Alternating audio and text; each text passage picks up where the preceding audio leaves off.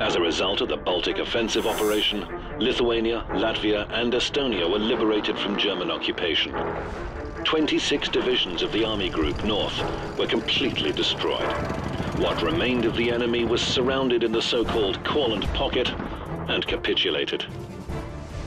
Я Сугробов Сергей Степанович. В армию я попал в 43 году в противотанковую артиллерию. Прибыли мы в Литву.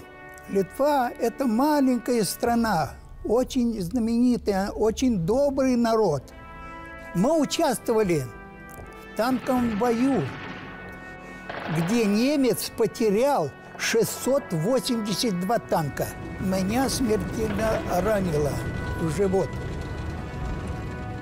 Я пролежал на снегу два с половиной часа, когда меня нашли. И когда отправили в госпиталь, то распространился слух, что я умер. Мне в то время шел девятнадцатый год. И когда на одной из встреч через 40 лет я появился, медсестра 19 -го года рождения, она меня нашла. Мурашки за спиной засверкали, когда она подошла и меня обняла. Мое обращение ко всем народам, что русский люд непобедим. И давайте жить дружно. Всегда русский поможет любому чужестранцу.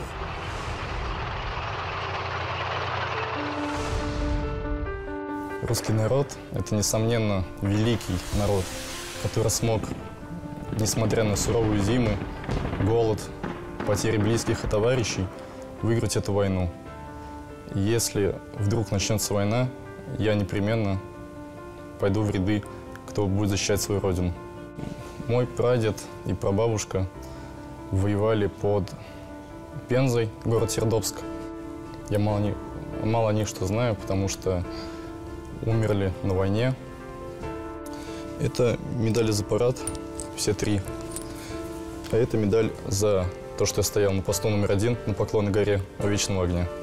Я хотел бы пойти по стопам отца в инженерное училище, колледж и заниматься той же деятельностью, что, что и он.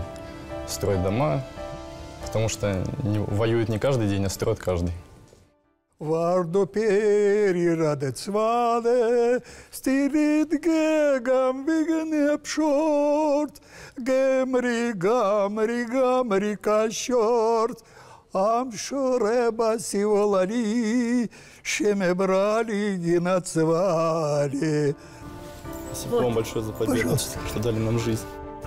Всегда старайся передать правду в глаза. Это будет отлично.